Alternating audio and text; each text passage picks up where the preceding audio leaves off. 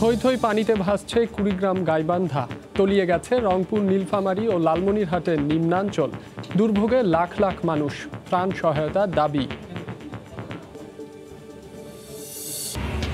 খানাখন্দ আর জমে থাকা নোংরা পানিতে বেহাল নীলফামারীর সৈয়দপুর বাস টার্মিনাল। তিন দশকেও হয়নি সংস্কার, চরম দুর্ভোগে যাত্রীরা। এবং সড়ক চার লেন হওয়ায় বদলে গেছে ঠাকুরগাঁও শহর।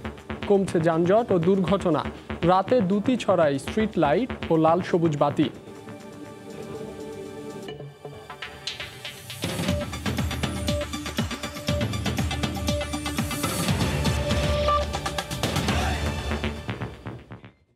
থই থই পানিতে ভাসছে কুড়িগ্রাম ও গাইবান্ধা। তলিয়ে গেছে রংপুর, নীলফামারী, লালমনিরহাটে নিম্নাঞ্চল। দুর্ভোগে লাখ লাখ মানুষ। দেখা দিয়েছে খাবার পানি, বিশুদ্ধ পানির সংকট। ত্রাণ সহায়তার দাবি জানিয়েছেন দুর্গতরা। রিপোর্টারদের পাঠানো তথ্য, ছবি নিয়ে রিপোর্ট। প্রবল স্রোতে লোকালয়ে ঢুকছে পানি। ঘরবাড়ি তলিয়ে অসহায় রংপুর অঞ্চলের পাঁচ জেলার মানুষ। বানের পানিতে ডুবেছে কুড়িগ্রাম ও গাইবান্ধা। এর মধ্যে কুড়িগ্রামের তিন শতাধিক গ্রাম তলিয়ে গেছে। বন্ধ তিনশো বিশটি শিক্ষা প্রতিষ্ঠান। বাধ্য হয়ে বানভাসী অনেকেই ঠাঁই নিয়েছেন আশ্রয় কেন্দ্রে। ঘরত চাউল নাই ঘরত লাড়কি নাই পোলাপানি স্কুলে যাইতে পারে না পড়ালেখা বদ্ধ হয়ে গেছে। থাকার কষ্ট রান্ধি কই খাই কই? রান্না করার সমস্যা খাওয়া দাওয়ার সমস্যা তারপরে পোলা মাইয়ের ঘরের সমস্যা। বন্যা দুর্গত এলাকায় দেখা দিয়েছে খাবার ও বিশুদ্ধ পানির সংকট। গবাদি পশু নিয়েও বিপাকে অনেকে। জরুরি ত্রাণ সহায়তার দাবি বানভাসীদের। ছোট বাচ্চা পায়খানার মধ্যে পানি চুলের মধ্যে পানি আন্দা বাত্তা করতে পারি না খাইতে পারি না। কি অবস্থা হয়ে আছি? বস্ত্র থাকার মতো সেগুলো যে উঁচা জায়গায় যে থাক থাকব মানে সেগুলো কিন্তু নাই। ঠান্ডাবাড়ি জায়গা নাকি এখন? রান্না কোথায় খাব? পানি কমলেও বিপদসীমার ওপরে তিস্তা নীলফামারী ও লালমনিরহাটের হাজার হাজার মানুষ পানিবন্দী। প্রতিদিন ডুবছে নতুন নতুন এলাকা। গরু বাছুর নিয়ে যে আমরা উঠবো সে পরিস্থিতিও নাই। বাসায় তো মনে করেন যে রান্না বন্ধ হচ্ছে।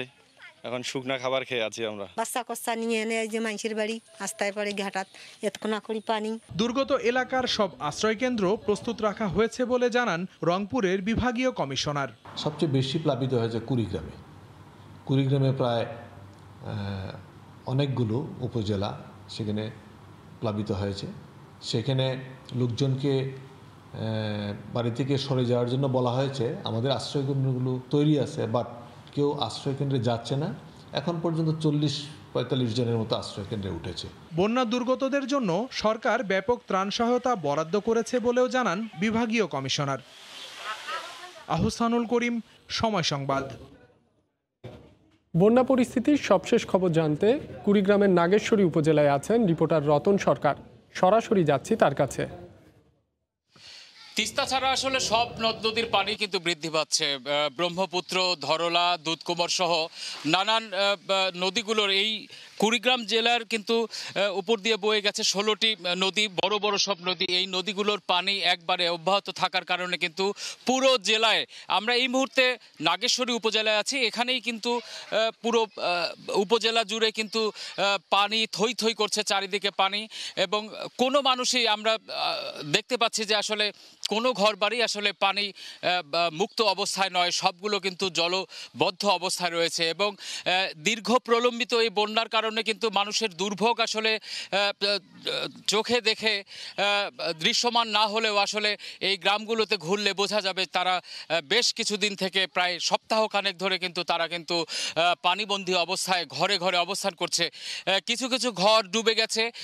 সেই সব ঘর ছেড়ে মানুষ কিন্তু বিভিন্ন স্থানে, উঁচু স্থানে গিয়ে আশ্রয় নিয়েছে। আহ, এই যে এতগুলো নদীর কারণে কিন্তু এখানকার এই জেলাটির যে আসলে বন্যা নিয়ন্ত্রণ ব্যবস্থা সেটি কখনোই গড়েই তোলা সম্ভব হয়নি এবং যতটুকু গড়ে উঠেছে বিভিন্ন সময় এই বন্যা নিয়ন্ত্রণ ব্যবস্থাগুলো কিন্তু বাঁধ সহ নদীর নিয়ন্ত্রণের ক্ষেত্রে যে অবকাঠামোগুলো রয়েছে সেগুলো কিন্তু প্রতি বছরের বন্যায় ভেঙে চুরমার হয়ে যায়। আমরা দেখেছি আজ সারাদিন আমরা ঘুরছি এই অঞ্চলে এখানে কিন্তু কোনো বন্যা নিয়ন্ত্রণ যে ব্যবস্থা বলতে যেটি, সেটি কিন্তু চোখে পড়েনি। সেটি কিন্তু ছোটোখাটো কিছু বাদ আমরা দেখেছি, সেগুলো আসলে অর্ধ ভাঙ্গা হয়ে পড়ে আছে অথবা অল্প কিছু অবশিষ্ট হয়ে পড়ে রয়েছে। বেশিরভাগ বাঁধই কিন্তু ভেঙে চুরে গেছে এবং সমস্ত এলাকায় প্লাবিত হয়েছে। এই এই জেলার মোট তিনশো তিনশো বিশটি শিক্ষা প্রতিষ্ঠান কিন্তু বন্ধ করে পাঠদান পাঠদান যে প্রক্রিয়া সেটি কিন্তু বন্ধ করে রাখা হয়েছে। সেখানে কিন্তু দুর্গত মানুষদের রাখার জন্য কিন্তু সেগুলো জেলা প্রশাসনের পক্ষ থেকে, সরকারের পক্ষ থেকে তাদের সেই যাদের সমস্যা হবে বাড়িঘরে, তাদেরকে কিন্তু সেখানে গিয়ে অবস্থান গ্রহণের কথা বলা হয়েছে। তো এই ছিল আমার কাছে কুড়িগ্রাম জেলার যে বন্যা পরিস্থিতি, তার সর্বশেষ। আমরা এতক্ষণ সরাসরি যুক্ত ছিলাম কুড়িগ্রামে। গরুর দুধ, ছানা, চিনি আর ছোট এলাচ তৈরি হচ্ছে সুস্বাদু মিষ্টি।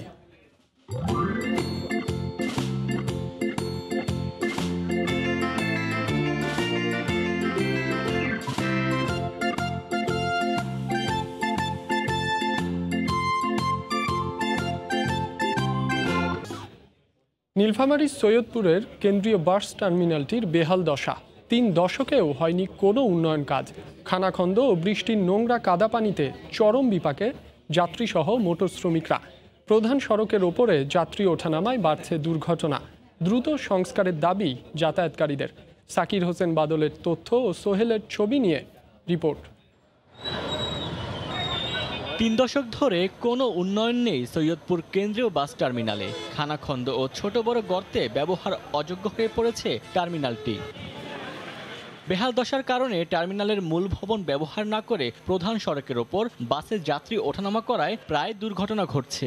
রোদ বৃষ্টির সময়েও যাত্রীদের ছাউনিতে আশ্রয় নেওয়ার মতো নেই কোনো ব্যবস্থা। এতে চরম ভোগান্তির শিকার যাতায়াতকারীরা।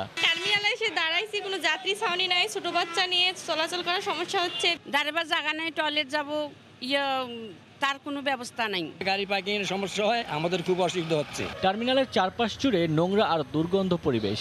ভবনের ছাদ ও দেয়ালের আস্তর খসে পড়েছে গেটে ঝুলছে তালা। পৌর কর্তৃপক্ষের দাবি টার্মিনালকে আধুনিকরণের জন্য ইতিমধ্যে ত্রিশ কোটি টাকার প্রাথমিক বাজেট প্রকল্পের আওতায় আনা হয়েছে। এমজিএসপি টু প্রকল্প যখনই শুরু হবে, হয়তো প্রথম পর্যায়ে এটা উন্নত মানের এবং আধুনিকায়ন একটা বাস টার্মিনালে পরিণত হবে। এটির প্রাক বাজেট ধরা হয়েছে তিরিশ কোটি টাকা। তবে প্রয়োজনে এই বরাদ্দ অনুযায়ী আরও বাড়তে পারে। এটিকে আমরা অগ্রাধিকার ভিত্তিতে গ্রহণ করেছি। এমজিএসপি প্রকল্পটি শুরু হলেই টার্মিনালে প্রথম অগ্রাধিকার পাবে। সৈয়দপুর টার্মিনাল ব্যবহার করে প্রতিদিন পাঁচ শতাধিক বাস মিনিবাস যাতায়াত করে বিভিন্ন স্থানে।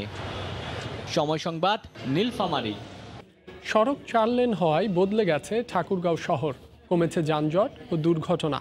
সাড়ে ছয় কিলোমিটার পথটি এখন দিনের আলোর মতোই রাতেও রঙিন আলোয় আলোকিত। নির্বিঘ্নে শহরে চলাচল করতে পারছেন চার উপজেলার মানুষ। সুমন হোসেনের ছবিতে জিয়াউর রহমান বকুলের রিপোর্ট। জেলার পাঁচটির মধ্যে চারটি উপজেলার মানুষকে শহরে প্রবেশ করতে হয় এই পথে। এতে যানজট আর প্রায়ই দুর্ঘটনার কবলে পড়তে হতো চলাচলকারীদের। জেলার আঠারো লাখ মানুষের আনাগোনা শহরের আঞ্চলিক সড়কটি চার লেনে উন্নীত হয় বদলে গেছে অনেক কিছুই। দু হাজার দশ এগারো অর্থ বছরে শহরের পুরাতন বাস স্ট্যান্ড থেকে চৌরাস্তা পর্যন্ত দুই কিলোমিটার ও পরবর্তীতে দু হাজার আঠারো উনিশ অর্থ বছরে চৌরাস্তা থেকে বালিয়াডেঙ্গি মোড় পর্যন্ত আরও সাড়ে চার কিলোমিটার চার লেন সড়ক উন্নতের কাজ শেষ হয়। এতে নতুন চেহারা পেয়েছে ঠাকুরগা শহর চার লাইন বিশিষ্ট রাস্তা হওয়াতে আমাদের সাধারণ মানুষের এবং গাড়ি ঘোড়ার চলার অনেক সুবিধা হয়েছে। সারা জেলায় যদি এই চার লেন রাস্তা করা হয় তাহলে সাধারণ মানুষের যোগাযোগ ব্যবস্থা অনেক উন্নত হবে। সড়কটি নির্মাণের পর আইল্যান্ডে বিভিন্ন বনজ গাছ রোপণ করে প্রকল্প বাস্তবায়নকারী কর্তৃপক্ষ। ফলে দিন দিন সবুজাব হয়ে উঠেছে জেলা শহর। সৌন্দর্য বর্ধনে রাতে দুইশো ষাটটি পিলারে স্টিক লাইট আর লাল সবুজের বাতি আলোর দুতি ছড়াচ্ছে শহর জুড়ে। সড়ক প্রশস্ততার এসব উন্নয়নের জন্য যেমন সৌন্দর্যতা বেড়েছে তেমনি দুর্ঘটনাও কমে এসেছে যানজটও কমে এসেছে। এখন পুরা শহরটি আলোকিত সাধারণ মানুষের যাতায়াত ব্যবস্থা অনেক উন্নত মানের হয়েছে। উন্নয়ন প্রকল্পটি বাস্তবায়নকারী সংস্থা সড়ক ও জনপথ অধিদপ্তরের দাবি। প্রশস্ততার কারণে একদিকে যানজট যেমন দূর হয়েছে আরেকদিকে দুর্ঘটনা কমে এসেছে। দুর্ঘটনা বহুল অংশে হ্রাস পেয়েছে এবং মানুষের জীবনযাত্রার মান বৃদ্ধি পেয়েছে। ঠাকুরগাঁওবাসী নিশ্চিন্তে এবং নির্বিঘ্নে বিনা বাধায় ফোর লেন সড়ক ব্যবহার করে উপকৃত হয়েছে। সড়ক ও জনপদ বিভাগ প্রকল্পটি বাস্তবায়নে ব্যয় করেছে প্রায় পঁয়ষট্টি কোটি টাকা। জিয়াউর রহমান বকুল সময় সংবাদ ঠাকুরগাঁও। নামে দুশো শয্যার গাইবান্ধা জেলা হাসপাতাল হলেও অবকাঠামো একশো শয্যার জেলার আটাশ লাখ মানুষের চিকিৎসার একমাত্র ভরসা স্থল হাসপাতালটি। নানা অব্যবস্থাপনার অভিযোগ উঠলেও জনবল সংকটের অজুহাত কর্তৃপক্ষের। আতাউল হক সাগরের তথ্য ও ছবিতে প্রতিবেদন। প্রতিদিন প্রায় দুশো রোগী ভর্তি হয় জেলা হাসপাতালে। তাই শয্যা খালি না থাকায় বাধ্য হয়ে হাসপাতালের মেঝে বারান্দায় চিকিৎসা নিচ্ছেন রোগীরা। ওষুধ লিখে দিলেও বাইরে থেকেই কিনতে হয়। ডাক্তার নেই বেড নেই ও অপরিচ্ছন্ন পরিবেশে দুর্ভোগের শেষ নেই এমন অভিযোগ রোগী ও স্বজনদের। এখানে আসার পর যখন স্যারকে জিজ্ঞেস করতেছে ওনার বলছে ভ্যাকসিন নাই আপনার কিনে নিয়ে আসুন। পরে একশো তিরিশ টাকা দিয়ে আবার কিনে ভ্যাকসিন দিচ্ছে। গত মাসেও তিনটা ডোজ দেওয়া হয়েছে একটাতেও মনে করো যে ইয়া নেই। হ্যাঁ ফ্রি নেই এ মাসেও সেম কেস এখানে আসলে কি হচ্ছে? চারজনের একশো তিরিশ টাকা করে দিলে তাহলে একটা কিনিয়ে চারজন মারতে পারবেন এইভাবে বলে। মানে তিনটে মারছে এরকম করিয়ে।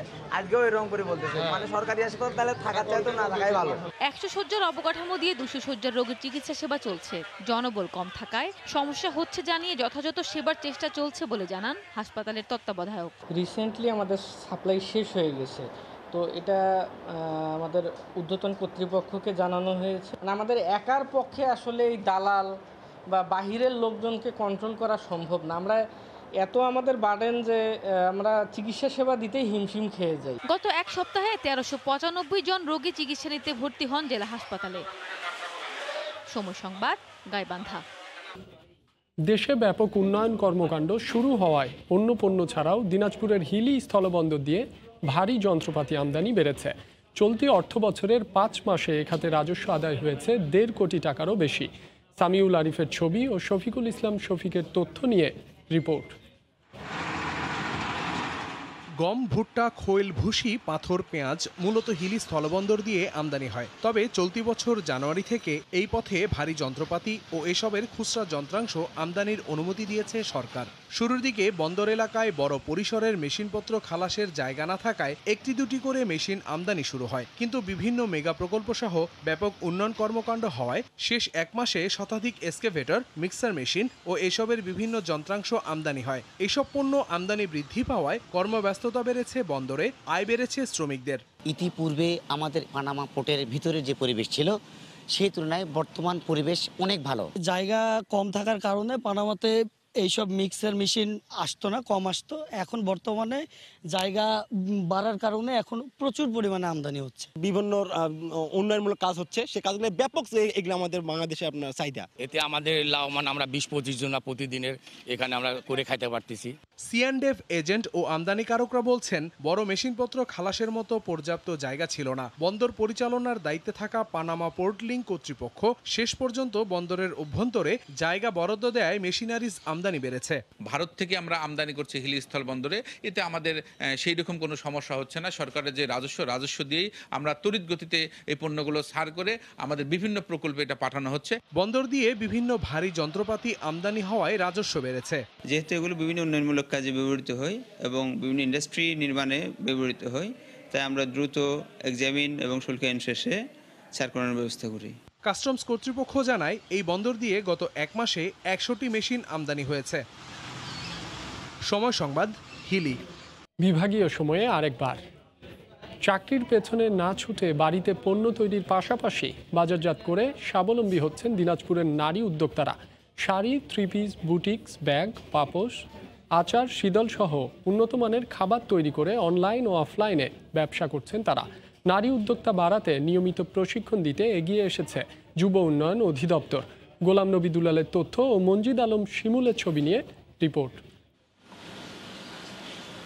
করোনার সময়কালীন ক্ষুদ্র ও মাঝারি শিল্প যখন ধ্বংসের পথে, ঠিক তখনই বাড়িতে বসে নিজ নিজ উদ্যোগে পণ্য সামগ্রী তৈরি ও বাজারজাত করে নিজেদের স্বাবলম্বী করার কাজে নামেন নারী উদ্যোক্তারা। ফেসবুক পেজে তাদের তৈরি পণ্য সামগ্রী প্রচার করেন এবং অনলাইনের মাধ্যমে বিক্রি করেন। এতে একদিকে নিজেরা লাভবান হচ্ছেন, পাশাপাশি বেকার নারীদের কর্মসংস্থানের ব্যবস্থাও করছেন তারা। মূলত মাস্ক, তারপর ছেলেদের পাঞ্জাবি, মেয়েদের ড্রেস এগুলোতে হ্যান্ড পেন্ট করেছি। আমি বর্তমানে তেল পিঠা থেকে শুরু করে যাবতীয় সকল পিঠাই আমি ডেলিভারি দিয়ে থাকি। এই ইনকাম দিয়ে আমার সংসার চলে এবং আমি স্বাবলম্বী এখান থেকে হয়েছি। করোনার সময়ে সবকিছু যখন থমকে দাঁড়িয়েছিল ঠিক তখন নারীদের নিয়ে উদ্যোক্তা প্ল্যাটফর্ম গড়ে তোলা হয়। দিনাজপুরের উদ্যোক্তা বর্গ নামে একটি অনলাইন প্ল্যাটফর্ম তৈরি করলাম। সেখানে এখন উনপঞ্চাশ হাজার প্লাস সদস্য যার বেশিরভাগ উদ্যোক্তাই নারী। প্রশিক্ষণের মাধ্যমে নারী উদ্যোক্তা তৈরিতে যুব উন্নয়ন অধিদপ্তর কাজ করছে। আমাদের সেলাই প্রশিক্ষণ আমাদের ব্লক বাটিক প্রশিক্ষণ ফ্রিল্যান্সিং আমাদের ওয়েব ডিজাইন এগুলোতে প্রত্যেকটিতে এই মেয়েরা যাতে সম্পৃক্ত হতে পারে এবং তাদের প্রয়োজন অনুযায়ী তারা যাতে কাজ করতে পারে আমাদের সাথে সেজন্য আমরা যোগাযোগ করেছি এবং আমি যথেষ্ট সাড়া পেয়েছি। জেলায় গড়ে উঠেছে Dinajpur online shopping group Dinajpur উদ্যোক্তা বর্গ গার্লস হ্যাভেন নারী উদ্যোক্তা। এই অনলাইন প্ল্যাটফর্মগুলোর সদস্য সংখ্যা প্রায় লক্ষাধিক। সময় সংবাদ, দিনাজপুর। বিভাগীয় সময়ে আরেকবার। গরুর দুধ, ছানা, চিনি আর ছোট এলাচ দিয়ে গাইবান্ধায় তৈরি হচ্ছে ঐতিহ্যবাহী রসমঞ্জুরি মিষ্টি। জেলার গণ্ডি পেরিয়ে সুনাম কুড়িয়েছে সারা দেশে। পাশাপাশি রসমঞ্জুরির জেলা হিসেবে খ্যাতি পেয়েছে গাইবান্ধা। আতাউল হক সাগরের পাঠানো তথ্য ও ছবি নিয়ে রিপোর্ট। রসে টৈটম্বুর গাইবান্ধার রসমঞ্জরি। অতুলনীয় স্বাদ আর লোভনীয় আকারে মন কাড়বে যে কারোই। গাইবান্ধা শহরের এই মিষ্টির আবিষ্কারক রমেশ ঘোষ। উনিশশো আটচল্লিশ সালে ভারতের উড়িষ্যার এক কারিগরকে নিয়ে তিনি শুরু করেন রসমঞ্জরি বানানো। শুরুতে এই মিষ্টি লম্বা আকারের বানানো হলেও সময়ের সঙ্গে আকারে এসেছে পরিবর্তন। তবে দোকানের স্বত্বাধিকারী এখন রমেশ ঘোষের আত্মীয় বাদলচন্দ্র ঘোষ ও তার ছয় ভাই। গরুর দুধ, চিনি ও এলাচ এই মিষ্টির মূল উপকরণ। দুধ থেকে ঘন করে তৈরি করা হয় ক্ষীর, ছানা আর ময়দা মিলিয়ে তৈরি করা হয় মূল মিষ্টি। এরপর দেয়া হয় চিনির শিরায়। পরে নির্দিষ্ট তাপমাত্রায় এনে ভেজানো হয় ক্ষীরে। জেলার গণ্ডি পেরিয়ে রসমঞ্জুরি সুনাম কুড়িয়েছে সারা দেশে। স্বাদে অতুলনীয় হওয়ায় দেশের বিভিন্ন প্রান্ত থেকেও ক্রেতারা মিষ্টি কিনতে আসেন এখানে। এর রমেশের দোকানে রসমন্দির মতো অনেক শুনছি এর আগে আমরা খাইছি এবং অনেক সুস্বাদু। মন্দির তো আমাদের গাইবান্ধার মধ্যে সেরা। আর বিশেষ করে এই দোকানের আরও বেশি সেরা। রসমঞ্জুরি এটা ঐতিহ্যবাহী তো গাইবান্ধার ভেতর ওই জন্যে খাইতে আসি অনেক সুস্বাদু। তবে উপকরণের দাম বাড়লেও মিষ্টির সঠিক দাম পাচ্ছেন না বলে দাবি ব্যবসায়ীদের। বিভিন্ন দেশে আমাদের এই রসমঞ্জুরি চলে যাচ্ছে। যারা প্রবাসী বাংলাদেশি আছেন তারা খুবই পছন্দ করেন এটা। আগে যেমন কম কম দামে মিষ্টি বেচলেও ওটার মধ্যে একটা প্রফিট ছিল। এখন বেশি দাম বেশিও আমাদের প্রফিট হচ্ছে না। রসমঞ্জরি তৈরি ও বিপণনের সঙ্গে এখনও রমেশ ঘোষের স্বজনরাই জড়িত। নির্দিষ্ট তাপমাত্রায় এই মিষ্টি বারো থেকে চোদ্দ ঘণ্টা ভালো থাকে। সময় সংবাদ গাইবান্ধা। বিভাগীয় সময়ের শীর্ষ সংবাদগুলো জানিয়ে দিচ্ছি আরেকবার। থই থই পানিতে ভাসছে কুড়িগ্রাম গাইবান্ধা। তলিয়ে গেছে রংপুর, নীলফামারী ও লালমনিরহাটের নিম্নাঞ্চল। দুর্ভোগে লাখ লাখ মানুষ ত্রাণ সহায়তার দাবি। এবং খানাখন্দ আর জমে থাকা নোংরা পানিতে বেহাল নীলফামারী সৈয়দপুর বাস টার্মিনাল। তিন দশকেও হয়নি সংস্কার। চরম দুর্ভোগে যাত্রীরা এই ছিল বিভাগীয় সময়ে। আগামীকাল থাকব রাজশাহী বিভাগের আয়োজন নিয়ে। সঙ্গেই থাকুন সময়ের।